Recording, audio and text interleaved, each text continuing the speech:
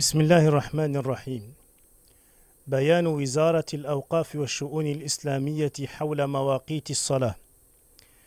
تتابع وزارة الأوقاف والشؤون الإسلامية قيام بعض المكاتب وبعض اللجان الإدارية بالمساجد من تعديل لمواقيت الصلاة تقديما أو تأخيرا بحجة عدم صحة المواقيت المعمول بها حاليا.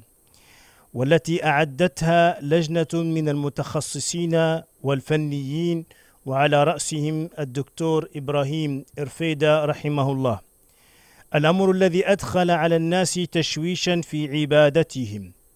والوزارة إذ تستنكر مثل هذا العمل وتحذر مرتكبيه من الملاحقة القانونية فإنها تعلن أن أي خطأ في مواقيت الصلاة إن وجد هو من الشأن العام الذي يمنع تعاطيه من قبل المكاتب والمساجد. وتصحيح هذا الخطأ مناط بإدارة المساجد بالوزارة وعبر لجنة متخصصة تقوم بزيارات ميدانية للرصد من عين المكان. كما تطلب الوزارة من المواطنين الالتزام بالمواقيت المعتمدة.